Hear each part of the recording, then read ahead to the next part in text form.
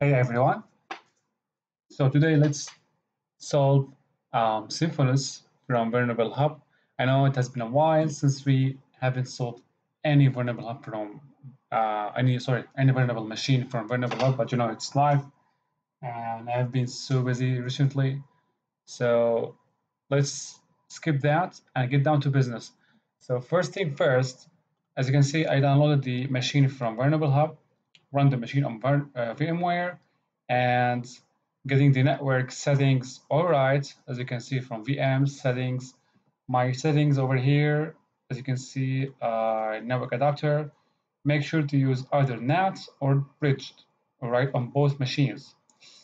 Uh, okay, so go back to my attacking machine. As you can see here, my IP address is 192.168.94.129, okay?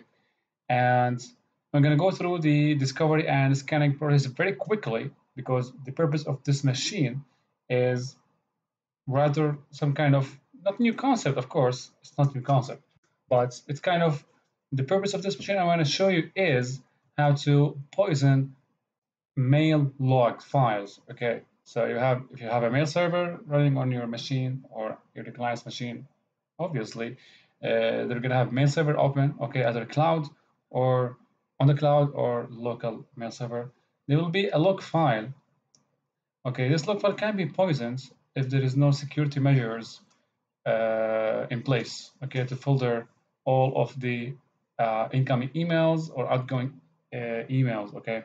So let's get down to this very quickly. So I issued this command over here to scan the parameter or scan the host on my network.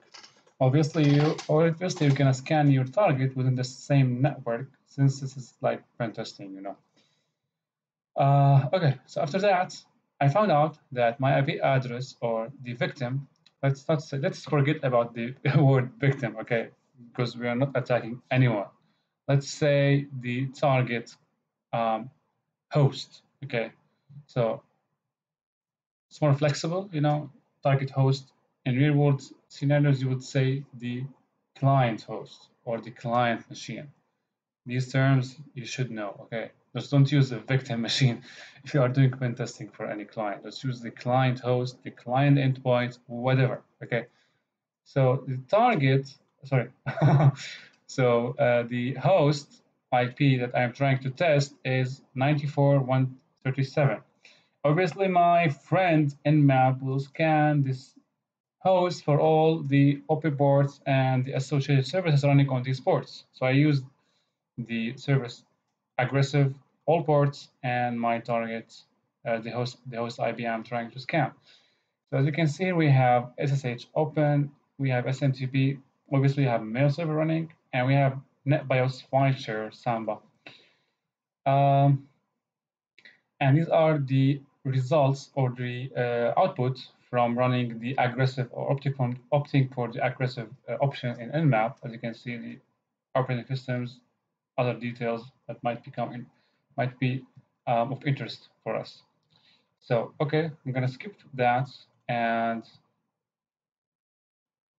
go back here. So, uh, so you see we have mail server open 25 and we have file share on Samba and we have the HTTP port. Okay, so we have many um, attack vectors or many open ports. So if I browse um, 6894, yep, typo, okay. So here's this, I don't know, some kind of, actually, I've seen this kind of um, drawings many times, but so far I don't know what what does it mean. so, you know, off topic. If you know, guys, what does that mean? Something something that has to do with history or cultures. I don't know. Okay, so this is what the web server looks like or the web page looks like. So let's skip that. I know, just some people might, might say, okay, run directory uh, brute forcing, whatever. But you know, guys, we have if you if you wanna do testing, we're gonna stay like for long hours do testing, but I'm trying just to make this quick. Okay, so the next step is scanning the file share. How you scan file share on Samba. You're gonna use enumeration for Linux. You're gonna put in for Linux the host IP address and you run enter. Okay, and the piece of information that's uh, is that's important for us here. Okay, so as you can see, it says there's the shared the shared information on this host. As you can see, I have multiple shares, among which are anonymous and Helios. Okay, that's the information that you need to take care of. Okay, so let's try to connect to these shares and find out what is inside. So SMB client to connect to shares.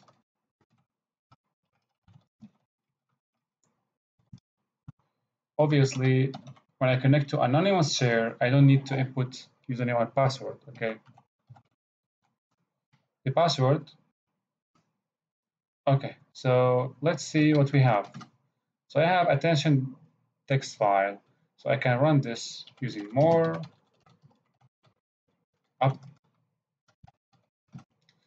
Uh, okay, so as you can see here, there's a hint about passwords. Obviously, you're gonna you're not going to see this in real uh, real world testing. Okay, just like some kind of hints, CTF um, stuff. Just I don't like, but you know we need to do that in order to harvest the other benefits of the challenge. So you need you see here there are three passwords that's saying you need to use these passwords, okay, in order to uh, create challenges. Quit. And if you grab the query password, okay, query is the password that you're, you're gonna need to use, okay, for accessing the other shares. Uh, yeah, as you can see, I'm not placing um, too much focus on this kind of stuff during a challenge or during testing because it's, I mean, near non-relevant when you do real testing, okay? So now let's uh, exit, yeah, and connect to Helios. Uh, here, uh, I have to input username because username is required here, which is uh, Helios. And the password is, which we found previously in the when when uh, enumerating anonymous share, which is query. Okay, so now I have access to Helios share. Let's see what we have. Okay, we have here research and todo. The file that we need to open is todo. Yeah, okay. So here you can see stuff, I don't know. And it says work on this. Okay, so long story short, you can you need to grab this, copy that, and use it to access WordPress, the WordPress web page. So let's go back to my page, weird page here. Enter. Oh, okay. So it's loading, and you see here Symfonisk local. So I think I need to add this. Okay, I forgot to add this to host file. Uh, okay, let's see what we have.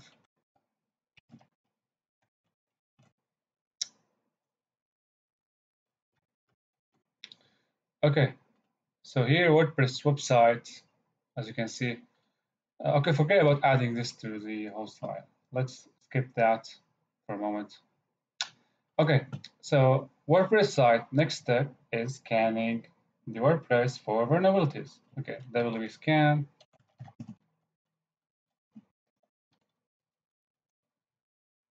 Paste.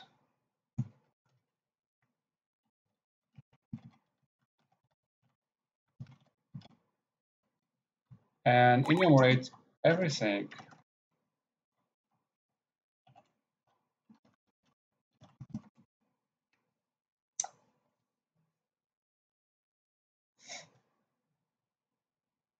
Oops, what happened here?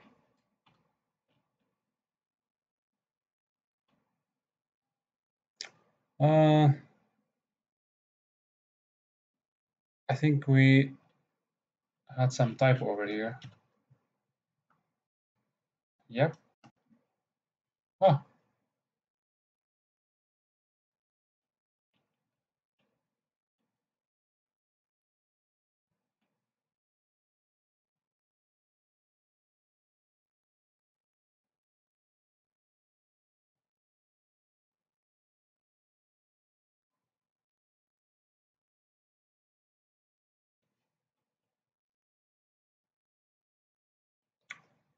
Uh, let me see. Uh, let's see this whole file stuff. Uh, let's let me remove these entries.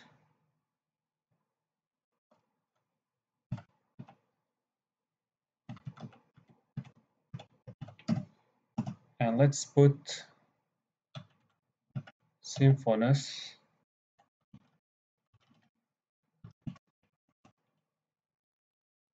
Oh, okay.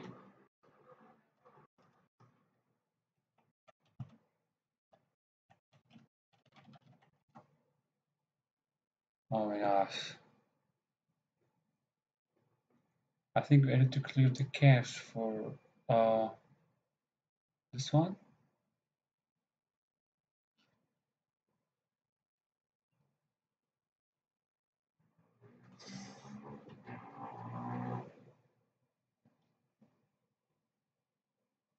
Let's what, what is this over what's happening over here.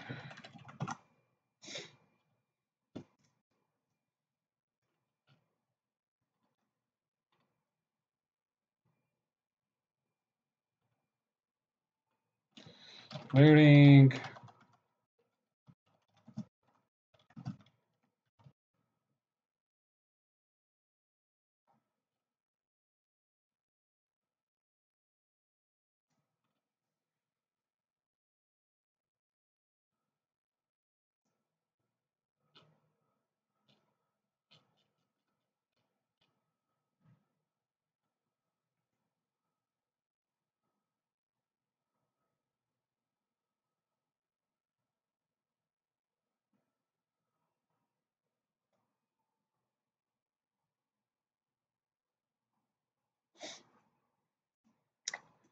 It suggests that I have run this scan before, which is correct, but it shouldn't have stored this in cache so quick. I don't know.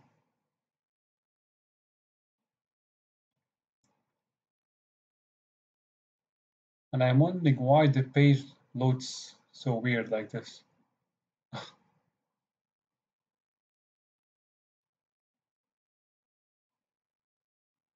Ah, so it says we need to remove all the files in .cache browser, which is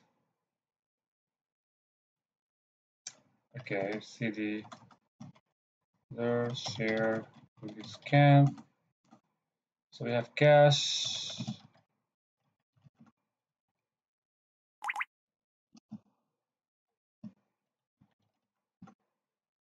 All right, so let's run the scan again. Okay, so let's now update the WDB scan and able to get. Okay, let's forget about the update for the moment. So it seems that it was like a caching problem.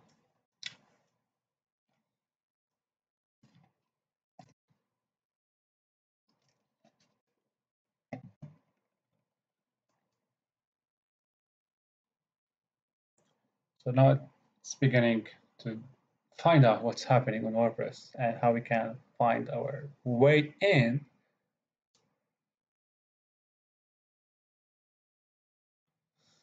Okay, so let's find what we have.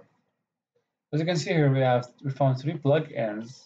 Akismet doesn't have anything. Mailmaster local file inclusion. This is the one that you need to work with. Obviously, we have other vulnerabilities, SQL injection, and we have local file inclusion for site editor. We might get into this after getting done from the first vulnerability. As you can see, we have the unauthenticated, unauthenticated local file inclusion, and we have the relative exploit. So let's browse to this, see how we can exploit that. Okay. So the file inclusion vulnerability allow, okay, I know that. So let's say this looks as perfect place to try for LFI if an attacker is lucky enough. Wow, okay. So typically we need to create this. Okay. So as you can see, the when you browse to the affected server or the affected address, okay, through the directory of the vulnerable plugin and you inject um, the target file that you need to browse to through the parameter or the vulnerable parameter, which is PL, you're going to end up viewing the content of the sensitive file. Okay, so obviously the solution to that, if you are security professional, is to update the plugin.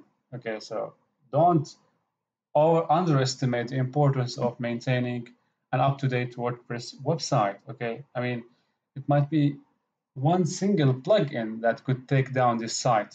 Okay, by being like out out outdate out of date.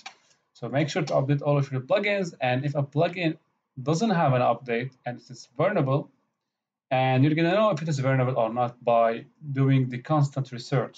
If you're a security professional or you're doing um, or responsible for the security of multiple WordPress websites or web servers or whatever.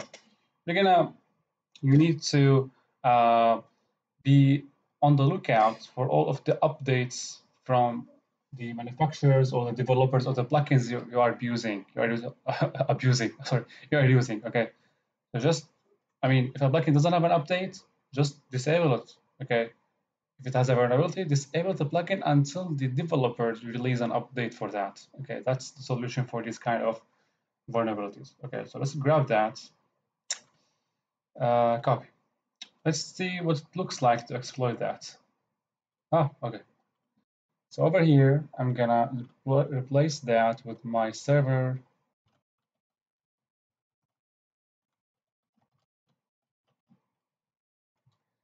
and here http mm, okay. Let's see. Huh.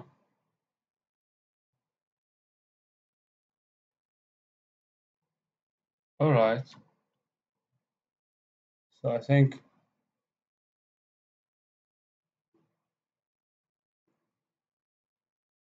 mm,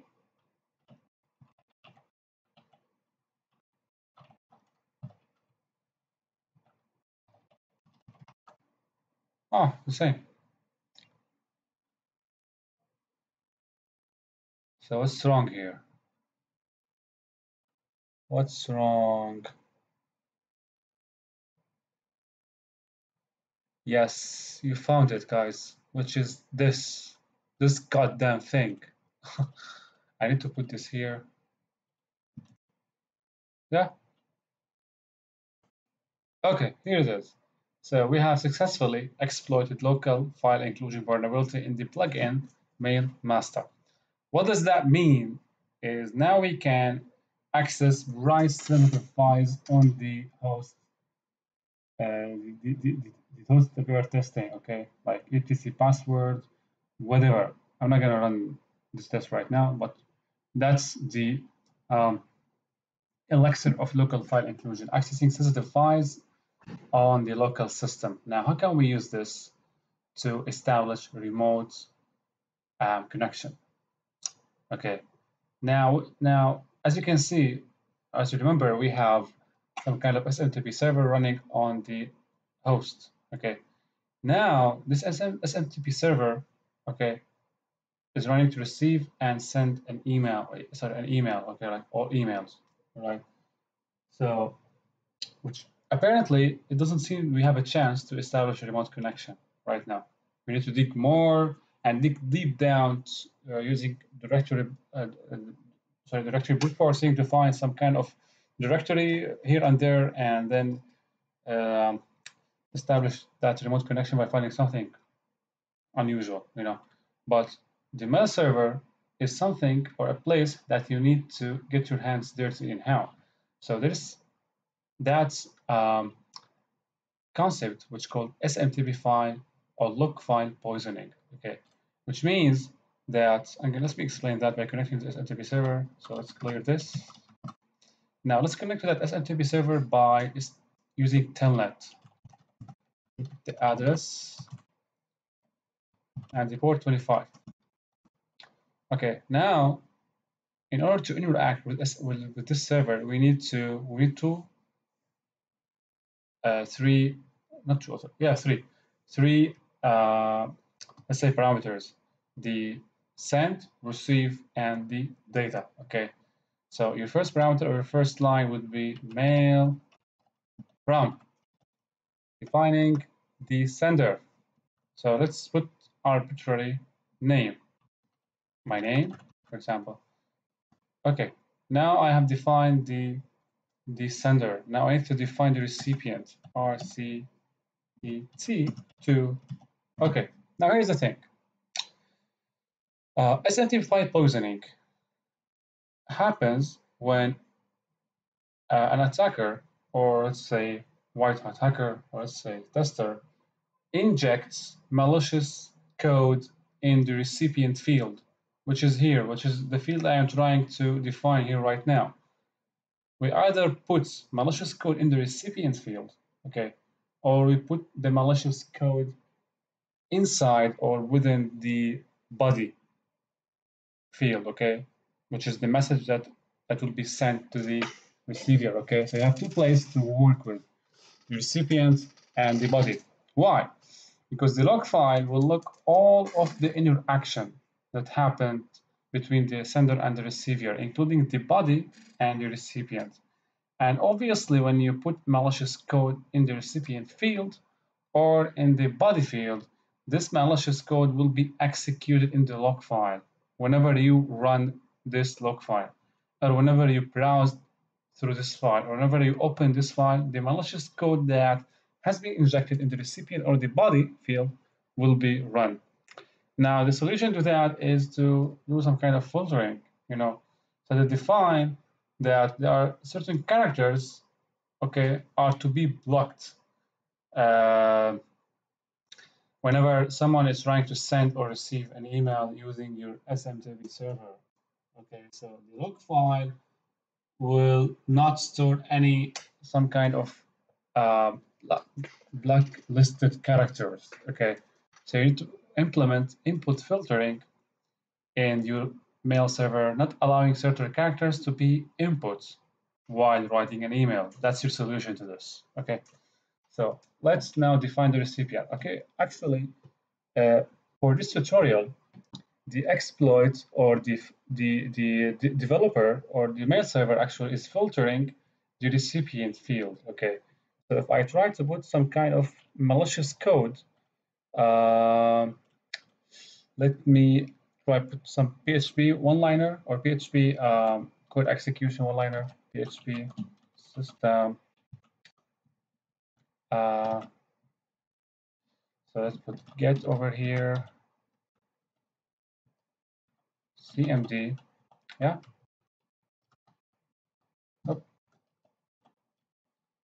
Uh, after that, we're gonna close that. Okay. Now this is piece of malicious code that if uh, if we if we if we could be able to input that without the filtering process, okay. Now if you browse the the, the mail the, the log file and we use the parameter which is cmd over here, we can let the mail let, let, let the log file execute whatever we define using the CMD parameter. Okay, that's it. That's the concept behind this. So for this machine, okay, if you input this malicious code in the recipient field, it will not work. Okay, rather you will input this in the body field. Okay, remove that. Then you define the recipient to be the user, okay, which is Helios. And you need to make sure that you define this as a recipient, okay? Because this is the only username in the system after anonymous. alias Okay, now we are on to input the body field. Let's put data to define that we need to input the body field or the message that we are trying to send. Now let's paste that. Okay, now obviously this is the message that will be sent to the recipient. Okay, and will be stored in the log file. Okay, and whenever we browse to this log file, this will be executed. Okay, now enter, and we put dot or point to tell the mail server that we uh, we, we just finished, okay, sending the message. Enter. Now, another option is to, you can do, is instead of input some, this one over here, you can put your reverse PHP shell. Okay, so let's do that. So you can use PHP reverse shell from Monkey pentest monkey monkey from pentesting monkey php reverse reserve reverse pentest monkey github github okay yeah weird. I know.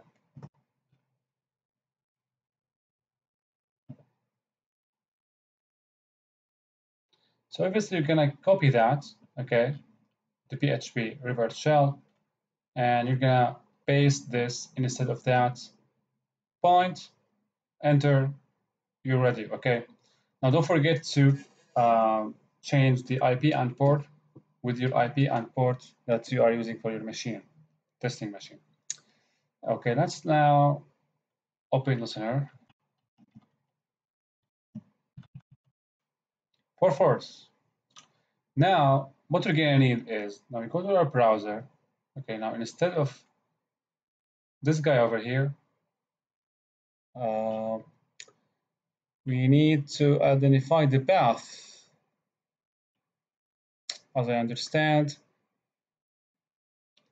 so instead of PL I'm gonna browse to the mail or the log file which is var mail and the username alias.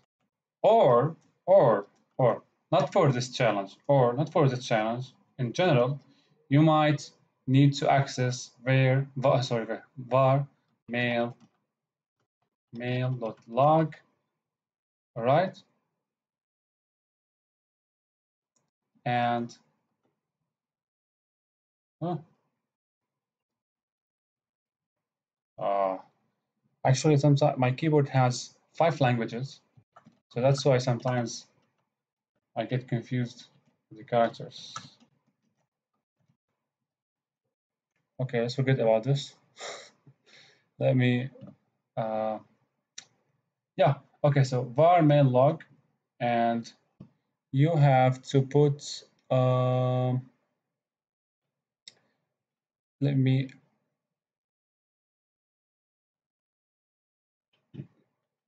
I don't know why the, the and character, the ampersand, I can't get the ampersand.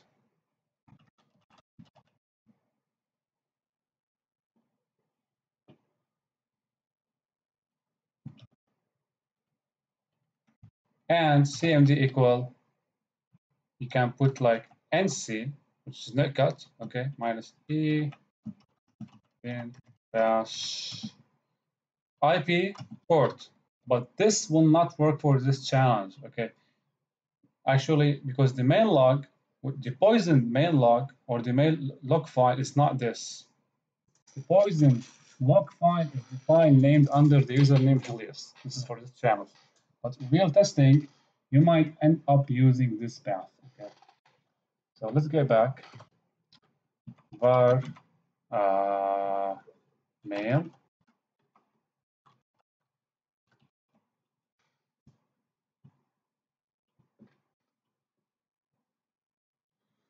Uh, I think I need to uh, after that I need to put the ampersand. Yep and then my parameter is cmd okay now let's put the netcut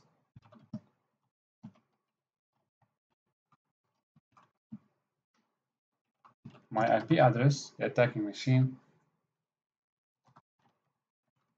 and the port. Let's see what happens. So obviously we got the reversal back to our machine over here. Now let's grab uh, the let's spawn TTY shell using Python Python 3. I hope this installed on the machine. I forgot actually whether it's installed or not.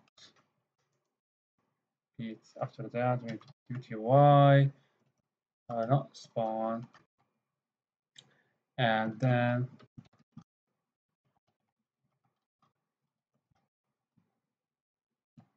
yeah. Okay, what's the next step, guys? The next step is finding a binary file that had the, the SUID set. Okay, which means that this file can run under root privilege. Okay, now find under the all under the uh, everything we need to find in all directories. Okay, whether we have u s side file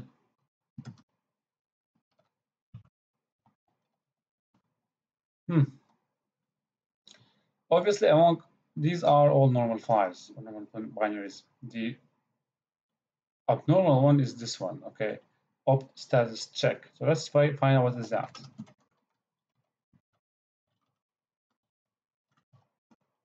So 64-bit, um, LSB. Yeah, typically, I mean, binary file that runs on 64-bit systems and has the SUI, SUID. Okay, next, what we need to find is how can we use this file to have root privileges. Okay, so let's run that.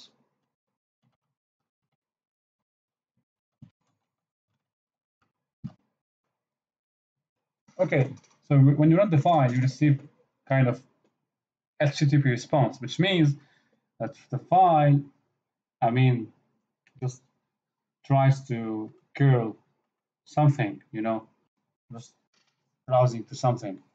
So let's use strings to find what's happening inside. Status. Yeah, okay. So strings reveals these footprints. So here curl okay parameter minus i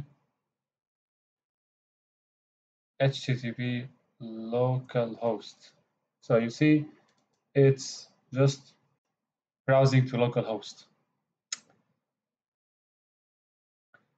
now how can we I mean I mean how can we use that? Or how can we use this file or binary to obtain root permissions? Okay.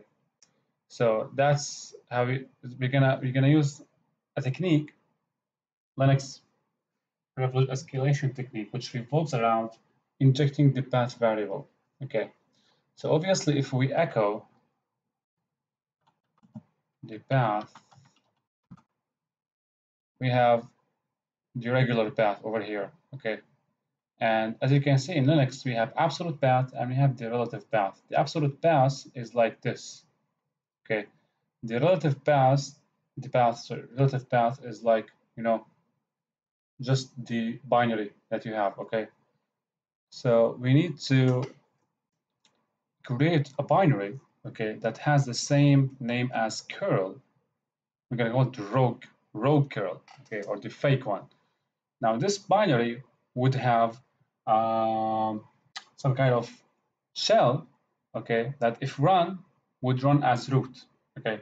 Now we will put that curl file in a directory and then we will have this directory as a path inject this directory as path variable. So whenever we run status check, instead of running the actual curl, it's going to run the curl that we have created in the directory that has been exported as path and the path, path variable. Okay, so how can we do this? Let's go to temp.